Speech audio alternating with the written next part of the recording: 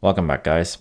Today we're going to be creating tests for our elk stack installation, meaning that make sure it's installed, make sure it's started, make sure it's listening on the ports. Um, we've already created tests before regarding the Apache and Flask tests and tests, excuse me. And I'm going to go ahead and I'm going to go ahead and be using the same tests on on uh, elk stack as well, except for they're not going to be under web, they're going to be under logger because that's how we have it in our kitchen uh, configuration as well as our top.sls. So uh, with that said, let's go ahead and get started. So what we'll do is we will create a new folder named, uh, in this case, logger. So we will say that's a new file and make sure everything is installed. And I'd like to go refer to the testinfra documentation for this to make sure that stuff are in fact installed. Uh, so host, I can just do a, there it is, package is installed. That's what we're looking for. So host.package, whatever it is, is installed. And it's exactly the same way we wrote the earlier test. If you look under Apache, we say def, whatever it is, and then the service, HTTPD. Instead of service, we're going to be using host because this is a, a uh, package rather than a um, rather than a service. So if you look at the service example, let's go down here. Uh, it's class service, and then the service, whatever it is, is enabled. So we could say package, whatever it is, is enabled.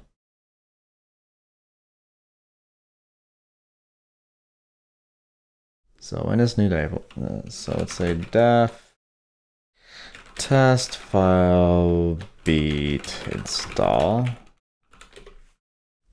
I don't think I need, yeah, I, need, I do need the package. I'm to go ahead and change this to Python. And since I'm including package, I'm not going to do host. I'm just going to do package dot uh, package is equal to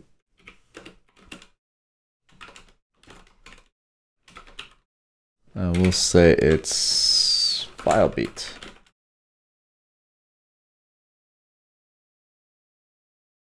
Do I have this lowercase? I don't think I need it to be uppercase.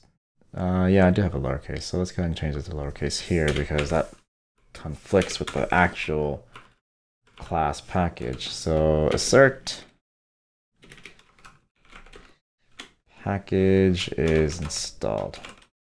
Dot is installed. And I don't think, yep, that's fine. Oh, I don't need to, this isn't actually callable. So I believe that should be it according to, yep, so whatever it is, is installed. Okay, great. Before we continue, I want to um, demonstrate, not demonstrate, I want to avoid an error that I've been running into, specifically with installing Logstash.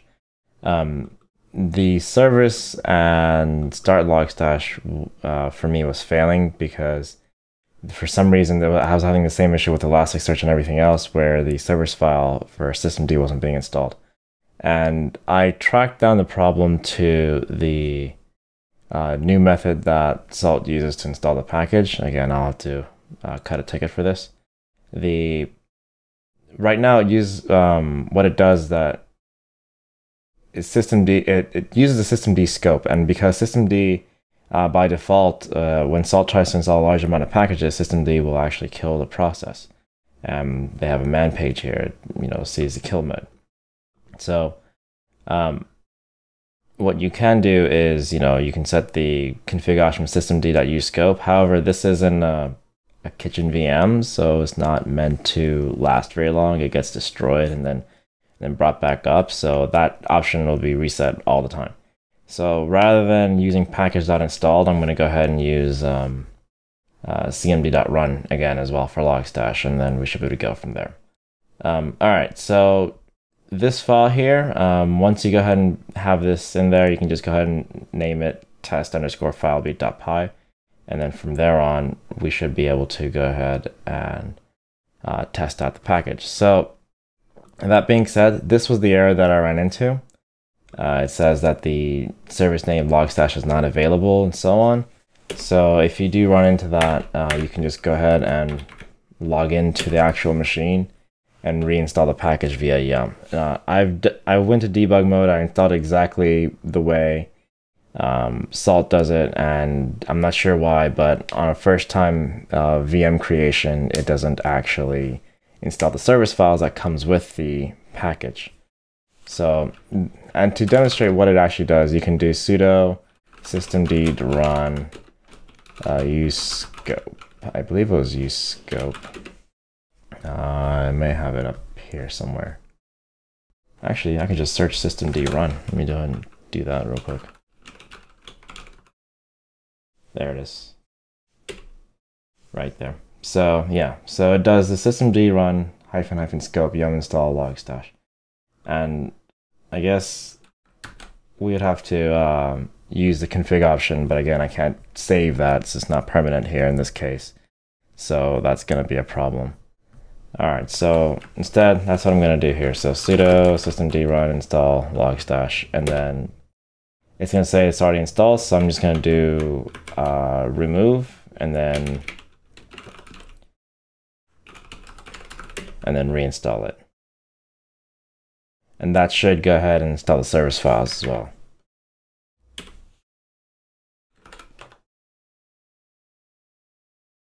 And I'll cut a ticket with um, with SaltStack repo as well from here on. Okay, so our it's almost downloaded. It hasn't installed just yet. So there we go. Should be installing in a minute. There we go. All right, so now if we do sudo service logstash status, we should at least see a service. Yep, there it is. So we at least see a service. Now if we can do a kitchen verify, um, it should go ahead and just verify everything from uh, Logstash. So I'm going to go ahead and it's just sorry, it's just going to go ahead and verify everything that we have in the test um, pi the file B that we've created. So I'm going to go ahead and um, I'm going to pause here and then I'll be back uh, as soon as this is over. Okay, and we're back. So it did run the test and it did pass. Um, there are some errors here, and this is particularly the way the test infra that I've set up. Uh, it says that package fixture is deprecated, testing for backend fixture is deprecated, uh, meaning that this particular fixture is conftest, uh, test infra, backend, get backends, and so on. This is deprecated. So I'm going to go ahead. Um, I'll figure out a way to um, to work with the new uh, modules, the new class, this host.package and host.backend and uh, we'll see how it goes uh, from there on. So, but regardless, this is a uh, this is a pass test. So right now, what we're going to do is we're going to go ahead and mark this off. Uh, we installed FileBeat, and then we're going to do further testing. So for FileBeat, we also need to make sure that it is uh, started. So cdef test FileBeat and uh, start service. Now, this is Python, and I know I didn't explain this too much before. Um, if you don't have a Python background, uh, you don't need to worry uh, too much. Basically, what we're doing is we're defining a function, and then we're including the um, the test infra package here through the backend. Now, uh, we're going to be doing that for the service here for to make sure that it started. And all we're doing is we're just assert, asserting that the package is either installed and packages either started and so on. That's it. That's pretty much it. Um, if you don't have a, uh, if you want to increase your Python knowledge, I'll have a uh, Team Treehouse uh, link on my on my description below. You can go ahead and use that. It, it's a referral. It helps me with my Team Treehouse account. Um, it doesn't really hurt hurt you in any way uh, give it a shot. It's it's definitely a paid service, and it's twenty five dollars a month, which can be a lot uh, depending on where you are, what kind of currency you're in. Um, again, there are also a lot of free other uh, free services out there that help you teach Python, that help you learn Python. So uh, look into those as well. Go through some googling, you'll find a lot. Learn Python the hard way is obviously one of the best ones out there. Uh, but yeah, do take a look at it. So right now what we're going to do is we're going to make sure that the service is actually started as well. So if we go back to the test infra docs here, um, let me see. That's not it. That's it right there. So I think it's just, I think it's under service. So is running. That's what we want. We want is running. So we'll basically do the same thing. So this is going to be service. And service is equal to service. And we'll say, in this case, file beat. And assert service dot is running. And that's all we needed to do. So now we can go ahead and rerun kitchen verify. This shouldn't take that long, uh, particularly because we've already gone through all of this. Um, so I wouldn't need to do anything of that sort. And actually, in the last log, we see that it tried to reinstall the package. I'm not sure why. Again, this is pro. Oh, because it's running as command.run now instead of instead of um, package.install like these guys are.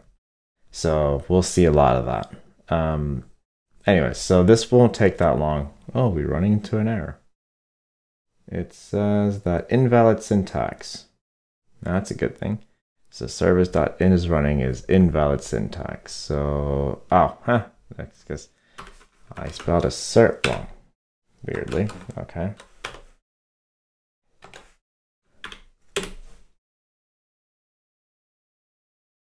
All right, there we go. So the, yep, the host is already up. It's already going to log in, and then we've got two tests that passed. Now this is very annoying. We get two errors for for every test that we have. So we're going to see a lot of, or not errors. So we get two warnings for every test we have. So we're going to see a lot of that. Um, hopefully we don't have to do anything of the sort to ignore them, but it is what it is. All right, so now that we've got file beats in there, so let's go ahead and put everything else in there as well. So we've got file beat. I keep going back to my video editing window. All right, so let's do the same thing for um, Elasticsearch and, and we could just do this. So we just get all the names and make that Elasticsearch. And this is going to be test elasticsearch.py. And for Elasticsearch, we also need to make sure it's listening on a port, but let's just stick with this for a little bit and then and then go from there. And I think I actually saved this on the wrong place. Where did I save this as? Because it's not here. Um, it is, in fact, in the PyCache. Okay. So yeah, I don't need it here in the PyCache. Um, in fact, I need it elsewhere. So delete this file. I need it to be in the, yeah, I need it to be in logger, not PyCache. Thank you. Oops. Let's rename that to test Elasticsearch. All right. So and we'll do the same thing for Kibana and Logstash. So let's do logger, new file. This is for, let's see, Kibana is next. Test Kibana. And the last one is Logstash. So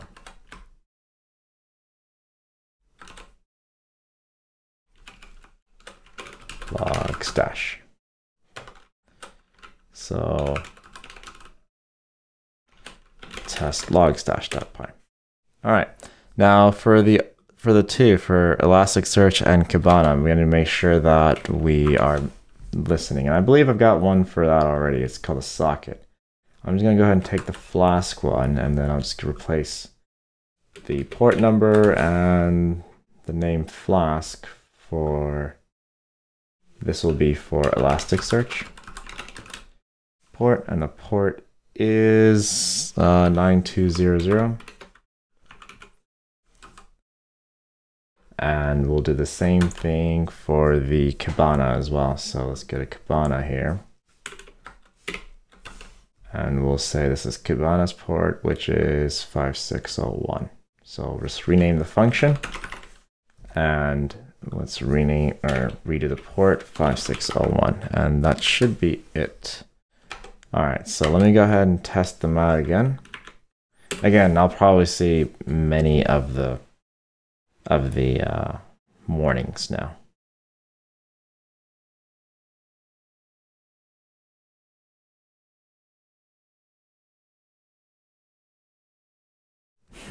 As I thought.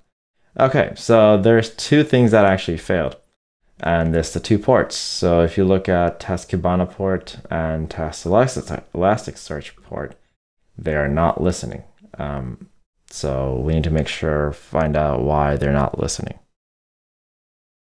In fact, they may be a different port altogether, so we will see. Actually, in this case, um, 5601 might be actually listening, but it's not, uh, it's not 0000. It's 127001. So let's check both of those and go from there. So let's do, let's get a kitchen login. And I know these warnings are a little annoying. Uh, we'll get through them though. So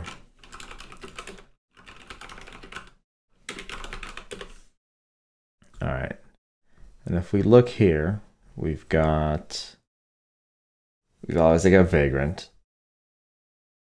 This is 9200. See, it's Java in this case. Um, 9200, but it's running as 127001 and 5601 is probably here somewhere. I just don't see it. There it is right there. And that's running as Node. Well, it's probably also not the Java, but it's running as Node. Um, let's see if there there's probably configurations that we need to see, which is why it's running as 127001. So etc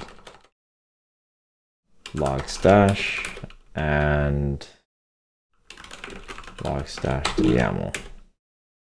Ah, see, the default host is in fact 127.0.0.1, which is why we're seeing that. So we need to change our tests instead of saying 0001, so 127.0.0.1, and do the same thing for Elasticsearch 127.0.0.1.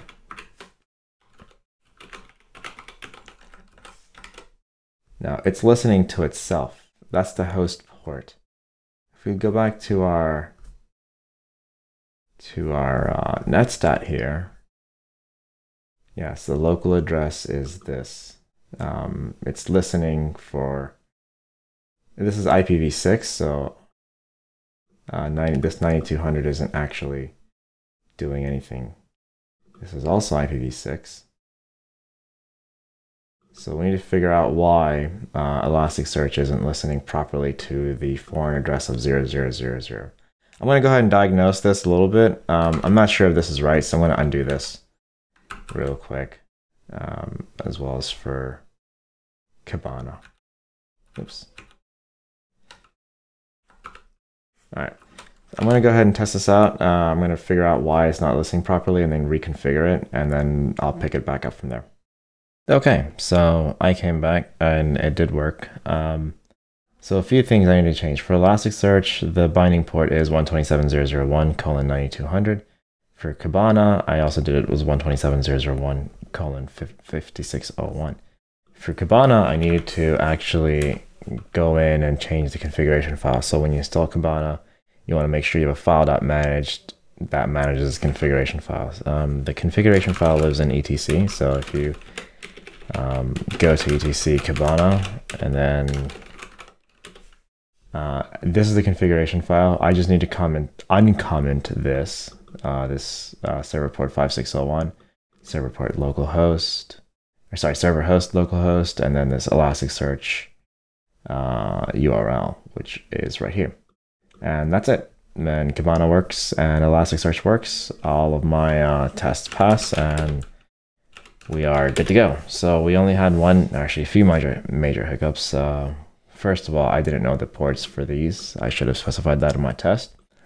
Uh, second of all, the other major hiccup I had was regarding the Logstash installation, this particularly.